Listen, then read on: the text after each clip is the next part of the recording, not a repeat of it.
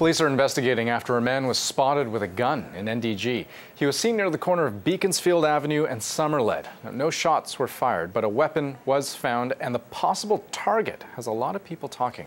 Marie-Claude Cabana was in NDG today speaking to people who live nearby. Police say they received a call from guards stationed in front of a house on this residential street in the heart of NDG.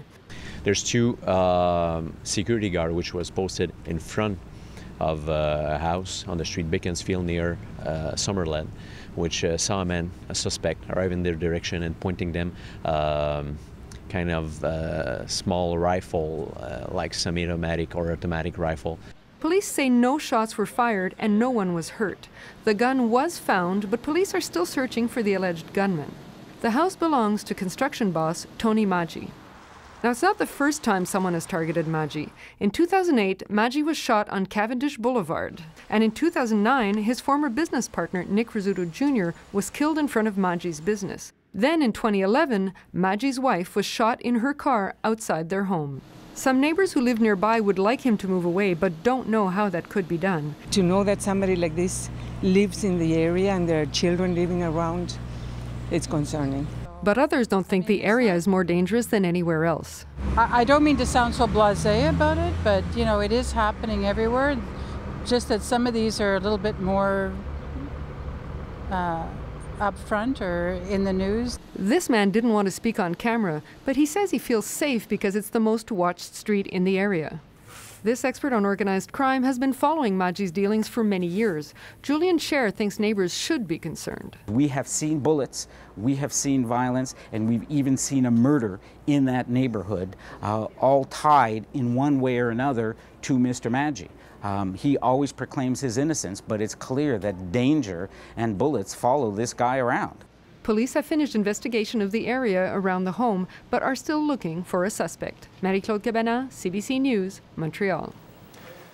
Tonight in Laval, a new city council takes over after more than 20 years under Gilles Vaillancourt and two interim mayors. As Marie-Claude Cabana reports, everyone is eager to turn the page. They're shiny, they're new, and they're eager. One by one, they swore to serve, starting with the former policeman who's now the mayor of Laval. And Laval's new mayor has a majority. 17 out of 21 members of council are from the Mouvement Lavallois.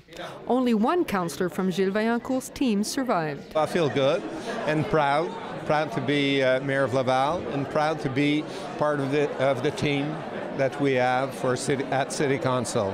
Residents are hoping new blood will get the city back on track. This man says last year's scandals have tarnished the city's image. In November 2012, Vaillancourt, known as the King of Laval, stepped down after almost a quarter century as mayor of the province's third largest city. This after a series of raids by Quebec's anti corruption unit. Two interim mayors followed, and last May, the city was placed under trusteeship. Members of the council are eager to get to work. It's still unbelievable, I would say, with everything that happened. Uh, you know, I'm from Mouvement Lavallois, and we have, you know, all this uh, huge team here, and so we're very happy. We're going to be able to uh, to do everything we our program. And Marc Demers says everything in the program will be done with integrity. We'll have measures concerning integ integrity, uh, which will be part of the first move we'll make, first bylaws we'll make, and uh, uh, we'll have some lawyers working on that.